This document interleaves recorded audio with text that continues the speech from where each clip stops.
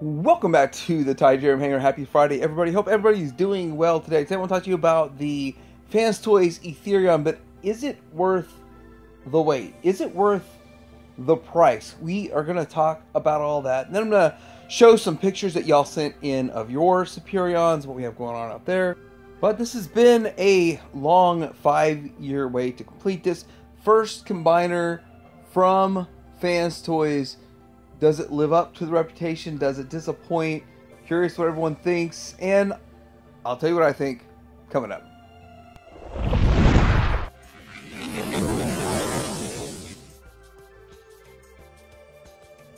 All right, so everybody seems to be excited about Superion right now, and that's a good thing. That's what happens when something like this comes out, and I think very quickly people are going to be very excited about getting into this Magic Square masterpiece Bruticus. Now, the Brawl, the price is up at Show Z. It's coming into stock, $115 at Show Z store. Remember TH reviewer code. But I think this is going to be every bit as big, exciting, and popular as this Fanstoy Superion. Haven't seen exactly the pictures, the color scheme, how it's going to look when it's done, but I'm assuming based because it had the feet, the silver feet, it's going to look like the one on the left uh, I believe. And then they'll probably come out with the all the same stuff in the colors for the one on the right. That's how they did it in the past, and probably how they do it with the masterpiece. But there's no guarantees in life, so I'm jumping on the first go around, and I'll probably jump on the second go around too. And for 115 per component, probably 140 for the main, the big bot. That's pretty reasonable for a combiner in 2024. So, what are the results of this Fans Toys Superion now that it's out? Well, I did review every figure. I did handle all the components. I haven't combined mine just yet. I seriously have not had time. I have got multitude of projects popping up that I have to take care of. But this does look really good. And I want to say that side by side with the first release of the Zeta, it does feel and look more premium. But Zeta did do a premium paint job on theirs and gave kind of metallic look, which they are very close when you see that. We'll see some comparisons sent by you guys here in just a little bit. But I will say that I think that it is a little bit better looking and it does present better than Zeta. And it, it's a nice looking bot and it's pretty hefty. It stands relatively well. Now, uh, this is something that Zeta doesn't do. It doesn't do the whole transformation gimmick into a stand, and I personally will never use it. Some people might though, and I think people who have uh, multiple sets probably will do this with with their alt modes, and then you have the combined mode. But then bot mode, there's really no use for the extra parts and components. But even if you bought Zeta, then you still had the extra parts and components if you decided to get Silverbolt. But you, hey, if, if you have to do that, it's not that big of a deal because it is the bigger bot. It was a more expensive bot for 140, but nowadays you're buying the whole set, so it's not that big of a deal. But interesting inclusion you don't get with Zeta. Now, as I never really went to combine mode just yet, I want to say that I'm just going to trust what other people are saying about this, and they're saying that uh, it does feel like it has really strong connections, which I felt like the joints are really strong in the parts forming pieces. But I'm also hearing that uh, it can do the splits real easy on its own. That's what Bobby Skullface is saying, that he showed that, displayed that.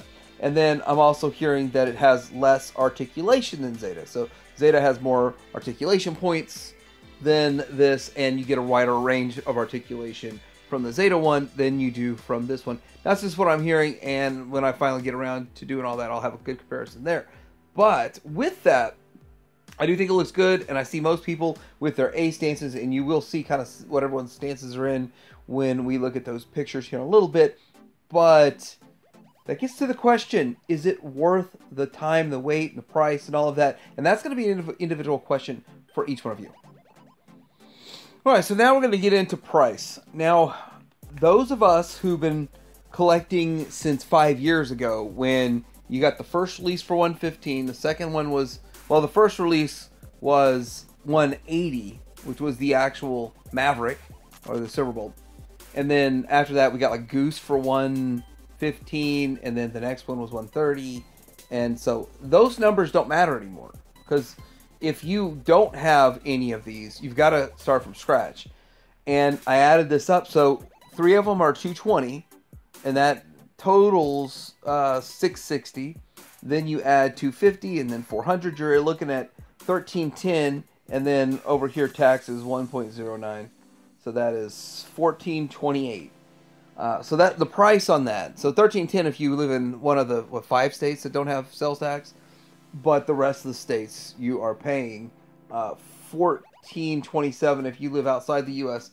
Uh, plus or minus. I hear outside the U.S. it's even more. That's what I'm hearing. So uh, for importing it from outside the U.S. Now, if you get these at Shozy Store, then you're getting them a lot cheaper. I only don't have all the prices on all of these reissues just yet, but we do know it is instead of 400, it's 320 for the for the final one, the Jester that has the combining parts and all of that.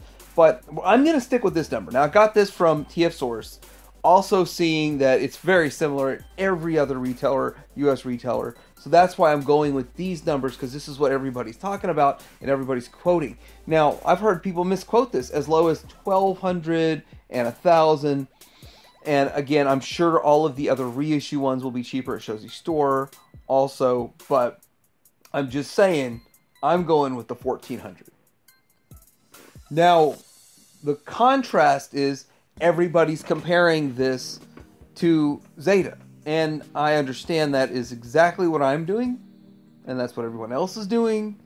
And Zeta's 400. Now you can look around and say someplace has it 459 or something like that.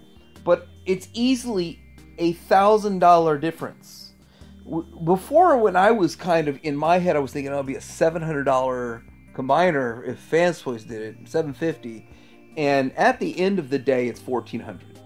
If you if you buy it now, if you kept up with it along the way, you could have gotten it significantly cheaper along the way, but it is officially a thousand dollar difference if you have no Superion right now, and then you decide hey, I'm going to buy a Superion. Now, I like to observe financial trends, economic trends, and I like to do this where I take a screen capture what's going on on eBay. I I'm searching the lowest price. There's one that's an auction and it's at like two something and it's got days left. That doesn't count because the the number will spike up in the last 30 seconds on that. So uh, actually, if you look at Zeta, I thought people would be fire selling their Zetas. So there's a couple of things that I ascertain from the fact that we've seen this. It's been out for a couple of weeks now, for the most part. People have got them. I've got mine. We've got ours. But nobody's really fire selling their Zeta. There might be one or two people that got their fans toys and they're selling it. Now, there's two reasons why. Number one, some people are going to keep their Superion Zeta Superion in combined mode and display their their fans toys in the bot mode. Now, if you look around, you don't see very many pictures of Zeta's bots in bot mode. You don't see it. You see them in the alt mode a bit. You'll see Zeta definitely in combined mode everywhere. You just don't see the individual bot modes. There's a few pictures that individuals took of their own.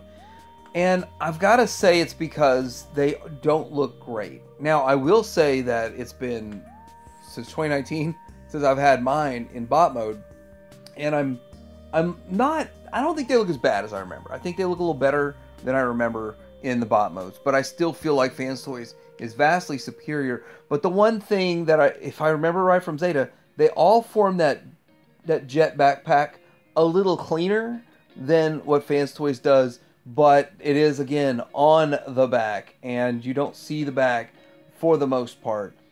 But comparing them side by side, Fans Toys blows Zeta away in the individual bot mode. So I'm going to throw that out there. That's something we've known for a long time, but it's still proof in the pudding. Uh, the only ones that are pretty close are the Silverbolts. The Zeta Silverbolt is really close to looking as good as the Fans Toys.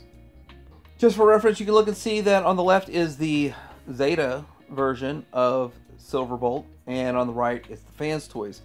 And although there are some things that Fans Toys does better, there are some things that Zeta does better. I like the midsection of Zeta's better, but all in all, I will still give the bot modes overall two Fans Toys.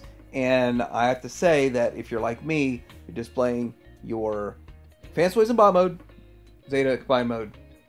Getting back to this, and it's a curiosity, and I might be wrong on this, but I think the other reason you're not seeing collectors fire selling their Zeta is because a lot of the fans toys collectors waited for the fans toys. They passed on picking up Zeta for 400 so they can funnel all that money towards just building their fans toys. And I understand that. But that's also been a point of contention and anger and irritation that fans toys collectors have had for 5 years. And I think everyone thought it would take about 2. And so it's 3 years longer than expected. All right, so we've had several people that have submitted their pictures of their Superions, whether it was Zeta or Fans Toys or whatever they were displaying as Superion. So I'm going to show those. We'll start with Streak Shooter, and he actually has his uh, YouTube channel. You go check him out. And this is a nice picture of on the left being the Fans Toys, right being Zeta. They are in different poses, stances, so they're sort of a mirror kind of a stance but you can see the differences in them, and the differences are quite interesting. Now, I don't have that sort of uh, horseshoe, upside down horseshoe kind of piece on my Zeta. Mine actually just doesn't have that, so it's uh, mine looks different. But I think you want to set them up to make them look as similar and close to each other as possible. But looking at them, there are some differences, and you can see the differences in the figures. But overall, very, very close. A lot closer in look and aesthetic and just the presence than I even I expected. Here's the Fans Toys next to DX9's Omega Supreme. And as we saw, Omega Supreme was in the, the Vector Sigma episode that I did show a short clip of in the video yesterday where I reviewed the Superion. And so this is a really good comparison that he has put together, and it, and it makes a lot of sense. But also size and scale. People were trying to say that the fan Toys was going to be so much taller than all of the rest of them, but it's really about the same size as Zeta. Not, I mean, if it is any taller, it's just a, a fraction of an inch. And just straight up, uh, that's what he looks like. It looks good. So thanks for the pictures. Uh, very clean looking bot and uh, would love to know in the comment section below what you think about this figure versus the Zeta. All right, so we've got Gibbs set up right here. Thanks for sending some pictures in, and it looks really good. Looks to me like he is rocking the Zeta and using fans, toys, and bot mode. Same way. Well, I have them on completely different shelves and completely different sections of the display, but he's going this route, which still looks cool too. Now I'm thinking he's got some sort of custom legs on this. This looks a little bit different on his Zeta, and let's uh, get a better look at that, a cleaner look. So he did send this picture showing sort of a custom leg. I don't know what's going on down there. What's going on down there? But would be interesting to know more about that because I don't really remember. So many add-on kits and upgrade kits have been available over the years, especially since this, this thing's been out since 2019, and you can deck it out. I think it looks really good. It looks almost like walking off the cartoon.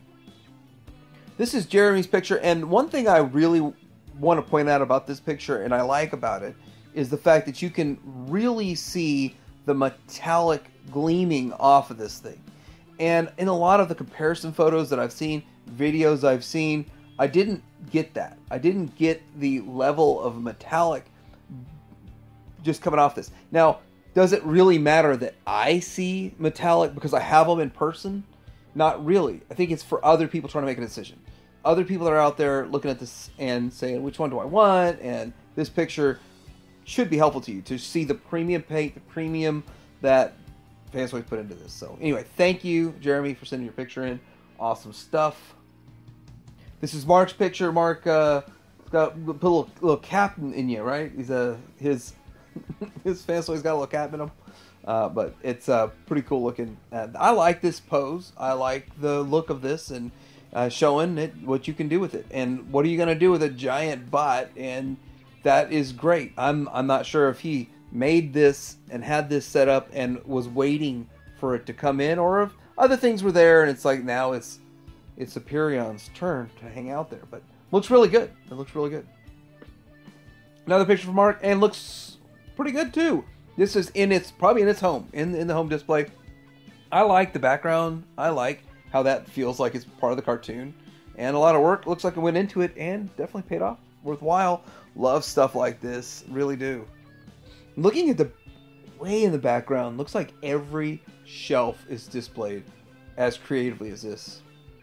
And this is Van's picture, and it is pretty cool uh, looking figure that he's got his Fans Toys put together, and another one where you can see the metallic.